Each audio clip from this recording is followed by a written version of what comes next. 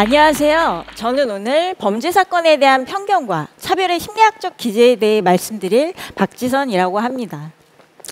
범죄 사건이 언론에 보도될 때마다 사람들은 각자의 시선으로 피해자를 바라보고 가해자를 평가하며 자신의 인지적 틀에 맞추어 사건을 인식합니다. 이처럼 사건을 바라보는 사람들의 시선에 있어서의 개인차는 무엇에서, 무엇에서 기인하며 어떠한 심리학적 기제로 설명될 수 있을까요? 저는 오늘 범죄 사건에 대한 사람들의 인식에 영향을 미치는 편견과 태도에 대해서 다양한 심리학적 기제를 통해 이야기하고 범죄 사건을 바라보는 우리들의 시선 속에 숨어 있을지 모르는 차별과 폭력에 대해 이야기하며 사건 보도 시 미디어의 바람직한 관점과 방향에 대해서도 함께 살펴보고자 합니다. 여러분들은 2007년 4월 16일 미국 버지니아텍 대학에서 있었던 총기 난사 사건을 기억하십니까? 대학에서 무차별로 총기를 난사하여 사상자가 50여 명에 달한 사건인데요. 조승희는 한국 출신의 미국 영주권자로 8살에 미국으로 이민을 가서 사건 당시 23살로 버지니아텍 4학년에 재학 중이었습니다.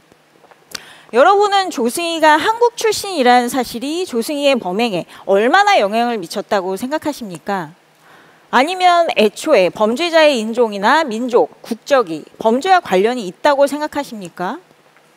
또한 만약 이런 끔찍한 범죄를 저지른 조승희가 한국 출신이란 이유로 누군가 모든 한국인은 폭력적이거나 잔혹하다고 생각하며 한국인에게 적대적인 태도를 드러낸다면 이는 얼마나 부당한 일이 될까요?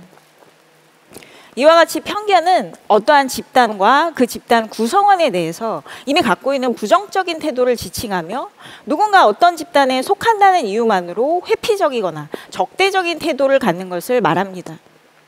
이를 바탕으로 특정 집단의 구성원을 기회나 권리로부터 배제시키는 부정적 행동을 보일 때 이를 차별이라 합니다.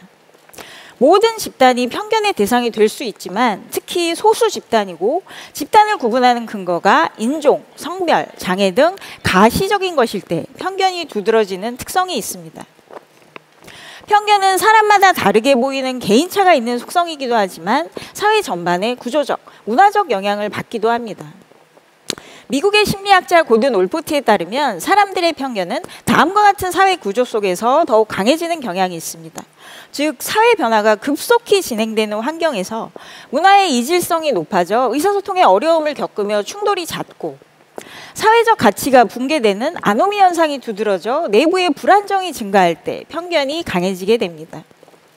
특히 실업과 불황 등 한정된 일자리를 놓고 경쟁하며 제한적 자원을 놓고 집단이 싸우는 등 현실적인 이해관계가 충돌하고 경제적 갈등이 심화된 환경에서 편견적인 성격이 더 많이 나타나는 경향이 있습니다. 일반적으로 사람들은 자신이 속한 집단에 유리하게 하려는 경향성을 보이는데요. 이를 내 집단 편향이라 합니다. 그런데 사람들이 내가 속한 집단이 다른 집단보다 우월하다는 것을 확인하고자 하는 욕구를 강하게 느끼는 때는 언제일까요? 일반적으로 안정성을 느끼는 사람들보다는 긍정적인 자아상의 위협을 받는 사람들이 더욱 외집단의 편견을 보입니다. 즉 불안은 사람들로 하여금 내 집단에 대한 편애와 외 집단에 대한 편견을 강화시키는 역할을 하고 편견으로부터 우월감이라는 심리적 이익을 얻고자 합니다. 일반적으로 사회적 지배 영향성이 높은 사람들은 위계적인 틀 속에서 사람들을 지각하는데요. 기본적으로 집단 간의 우월과 위계가 존재한다고 믿습니다. 사회적 지배 경향성은 크게 두 가지 요소로 이루어지는데요.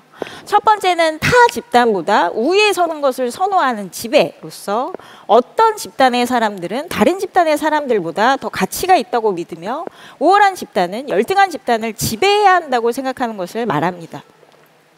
두 번째 요소는 불평등인데요. 모든 집단이 동등한 기회를 부여받아야 한다는 생각에 반대하는 등 집단 간 관계에서 발생하는 불평등을 지지하고 유지하려는 특성을 말합니다. 이러한 사회 지배의 경향성이 높은 사람들은 다른 사회 집단을 지배하려 하고 자신이 속한 내 집단의 우호를 추구하기 때문에 편견을 정당화하게 됩니다. 또한 권위주의적 성격은 사람을 판단할 때 그 사람이 속한 집단이나 계층으로 구분지어 통념에 근거하여 파악하려 하는 성향을 말합니다. 즉 권위를 가진 대상에는 극도의 존경심과 무조건적인 충성 및 복종을 보이지만 반대로 외 집단이나 지위가 낮은 사람들에게는 억압적 태도를 보이는 성격을 말합니다. 이러한 권위주의적 성격이 강한 사람들은 사회적 약자나 소수 집단의 편견을 갖고 부정적인 태도를 보이며 차별하기 쉬운 성향을 보입니다. 실제로 내국인과 외국인 범죄 언론 보도에서의 차이를 조사한 2016년 연구에 따르면 국내에서 발생한 범죄 중 외국인 범죄자에 의한 범죄 비율보다 전체 기사 중에 외국인 범죄자에 대한 범죄 기사가 차지하는 비율이 현저히 높은 과잉 재현 현상이 두드러진다고 합니다. 특히 범죄자 수 대비 범죄 보도 건수를 지칭하는 언론 보도 비율의 경우 외국인 범죄자가 내국인 범죄자보다 훨씬 더 높으며 특히 이러한 경향은 살인 등 강력 범죄에서 더 두드러지고 있습니다. 문제는 이런 과잉 재용과 편향된 언론 보도 비율이 외국인에 대한 편견 형성과 사회적 배제에 영향을 미칠 수 있다는 점입니다. 또한 작년 10월에 16개월 아이가 아동학대 끝에 사망하는 사건이 발생하여 사회적 공분이 일었는데요. 여러분이 생각하실 때 우리나라에서 발생하는 아동학, 대 사건 중 친부모에 의해 발생하는 사건은 얼마나 되며 계부모나 양부모에 의한 사건의 비율은 얼마나 될까요? 2019년 보건복지부 아동학대 통계에 따르면 2019년 전체 아동학대 신고 건수 사례 중 아동학대로 판단된 총 3만 45건의 사례 중에서 76%가 부모에 의해 발생한 사례이며 친부에 의한 사례는 41%, 친모에 의한 사례가 31%로 나타났습니다. 한편 계부와 계모에 의한 사례는 각각 1, 2%에 불과했으며 양부와 양모에 의한 사례도 각각 0.1, 0.2%에 불과한 것으로 집계되었습니다. 더불어 2019년에 학대로 인해 사망한 아동은 총 42명으로 집계되었으며 이는 전체 아동학대 피해자 중 약 0.1%를 차지합니다. 사망 사건의 학대 행위자는 총 53명으로 친모가 반을 차지했고 친부가 약 38%, 계부가 약 4%, 양부와 양모는 각각 2%인 것으로 집계되었습니다. 그러면 이런 통계에서 알 수 있는 것처럼 계부모나 양부모에 의한 아동학대는 실제로 매우 적은 비율을 차지함에도 불구하고 왜 많은 사람들이 아동학대하면 계부모나 양부모에 의한 사건을 많이 떠올리는 것일까요? 심지어 우리는 때때로 학대 행위자가 계부모나 양부모인 사실 그 자체가 곧 아동학대 발생의 원인이라고 생각하는 사람들도 볼 수 있습니다. 어떤 집단에서 유일하거나 소수에 속하는 사람, 즉 많은 사람들과는 다른 특이한 속성을 지닌 사람은 흔히 사람들의 주목을 끌고 이런 사람이 극단적인 사건과 결합했을 경우 때로는 사람들의 판단이 왜곡되기도 합니다. 이처럼 지각적으로 특이하고 가시성이 높은 소수 집단과 부정적인 행동이 결합했을 때 사람들이 그 관계를 과대 지각하는 현상을 착각 상관이라고 합니다. 즉 특출한 집단이 특출한 행동을 하면 이 조합은 희귀한 사례가 되고 사람들의 주목을 받으며 두 가지 사이에 높은 상관이 있다고 착각하고 그 빈도를 과다 추정하게 됩니다. 이러한 착각 상관은 일반적이지 않은 사례나 집단이 더욱 부정적인 평가를 받게 되는 데 영향을 미칩니다. 이러한 착각 상관이 적용될 수 있는 또 다른 사회적 현상이 바로 정신질환과 범죄와의 관계입니다. 정신질환자에 대한 편견과 차별은 정신질환자의 성공적인 치료와 사회적인 복귀에 영향을 미치는 중요한 요인입니다. 정신질환자에 대한 사람들의 편향된 태도와 차별은 정신질환자가 치료를 받는 것을 저해하는 요인으로 작용하며 실제로 정신과 등 정신건강 치료 서비스 이용률과도 관련이 있습니다. 특히 범죄 사건 보도에서 정신질환과 범죄의 연관성을 과장되게 부각하여 부정적으로 묘사하는 등 정신질환에 대한 편견을 가지고 보도하는 일부의 행태가 지적되어 온 바 있습니다. 특히 과거 정신분열증으로 불렸던 조현병은 사회적 편견이 가장 심한 정신질환 중 하나라고 할 수 있는데요. 살인 등 특정한 사건의 범죄자가 조현병 환자라는 기사 등 사건의 원인으로 정신질환을 지목하는 보도를 어렵지 않게 찾아볼 수 있습니다. 특히 관련 종사자들이 아닌 일반인들이 조현병 등 정신질환에 대해서 얻는 정보의 출처는 언론 보도가 대부분을 차지하므로 편향된 보도를 접할 경우 사람들의 편견은 더욱 깊어지고 이는 정신질환자들로 하여금 필요한 치료를 사회적 시선 때문에 받지 못하게 하여 증상이 더욱 악화되는 결과를 낳아 장기적으로는 사회적 비용이 오히려 더 증대되게 됩니다. 이러한 언론 보도 행태는 정신질환자에 대한 사회적 인식에 영향을 미친다는 점에서 그 편향성과 부작용을 신중하게 검토해야 할 필요가 있습니다. 2019년 한 연구에서 지적한 조현병 관련 언론 보도 경향을 보면 사건 기사 제목에서 범죄자의 조현병을 강조하고 범죄 발생의 원인이 조현병 그 자체인 것처럼 묘사하며 조현병 환자들이 저지른 다른 범죄 사건들을 언급하며 그 공통점이 조현병이라고 부각시키는 등의 행태가 나타난 바 있습니다. 이러한 보도 행태는 일부의 조현병 환자가 보이는 극단적인 행동이 마치 조현병 환자의 공통적이고 일반적인 특성인 것처럼 왜곡되어 전달될 우려가 있습니다. 결과적으로 조현병 환자들에 대한 편견을 심화하는 언론의 보도는 이들을 더더욱 고립시키고 치료를 저해하여 장기적으로 악영향을 낳을 수 있습니다. 이처럼 범죄자에 대한 편견도 중요한 문제이지만 피해자에 대한 편향된 시선 또한 우리가 생각해 볼 문제입니다. 여러분들은 범죄 피해자란 단어를 들었을 때 머릿속에 어떤 모습이 그려지시나요? 구석에 앉아서 울고 있는 모습 아니면 남의 말에 쉽게 속는 어리숙한 모습이 떠오르시나요? 여러분들은 범죄 피해자의 다양성이나 피해자들 사이의 개인차에 대해 생각해 본 적이 있으십니까?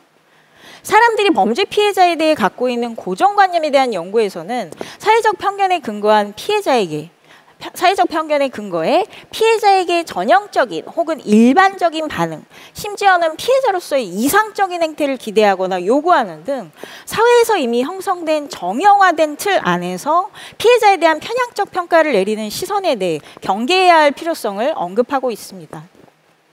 사람들은 자신이 생각하는 피해자로서의 전형성이라는 기대에 부합하지 않는 피해자의 진정성을 때로는 의심하며 비난하기도 합니다. 특히 피해자가 보이는 감정적 표현이 피해자에 대한 사람들의 신뢰도에 영향을 미치는 효과를 일컬어 the emotional victim effect, 즉 감정적인 피해자 효과라고 지칭하기도 합니다. 즉 피해자가 울거나 흐느끼며 절망적인 감정을 표현할 경우 그러한 감정 표현은 피해자의 전형성에 대한 고정관념에 부합한다고 생각하여 이에 피해자의 신뢰도를 높게 평가하는 경향을 말합니다.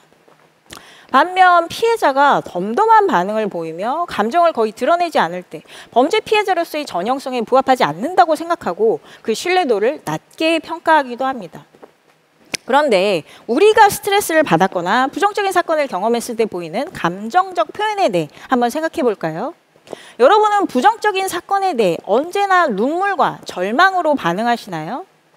오히려 아무런 감정도 표현하지 못하거나 부정적인 사건으로부터 어느 정도 시간이 지나고서야 비로소 감정을 정의하고 표현할 수 있다거나 감정이 느껴져도 상황이나 다른 사람들 때문에 감정이 드러나지 않도록 오히려 애썼던 경험은 없으신가요?